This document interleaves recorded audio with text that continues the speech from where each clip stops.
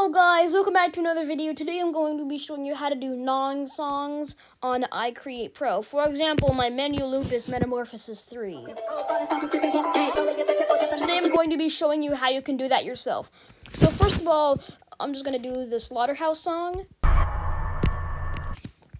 I'm just going to copy it here.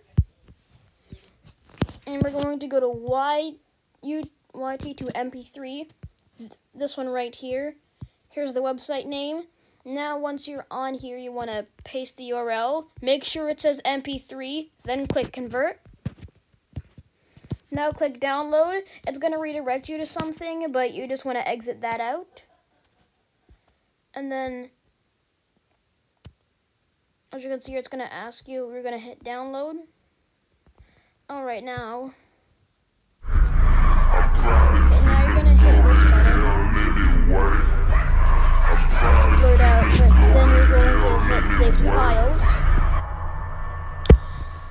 Then you, after that, you want to go to on my on your device.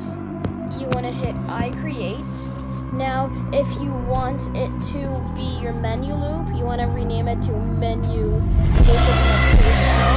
But if you don't,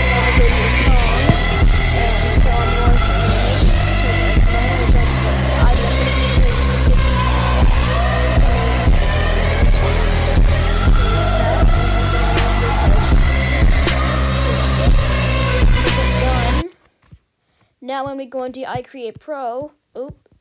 Now when we go into iCreate Pro, as you can see, this is the song right here. After this, I could have started a little first. I just put a start thing there, but as you can see, it now works. If we save and play, as you can see, we can play the song. Thanks for watching.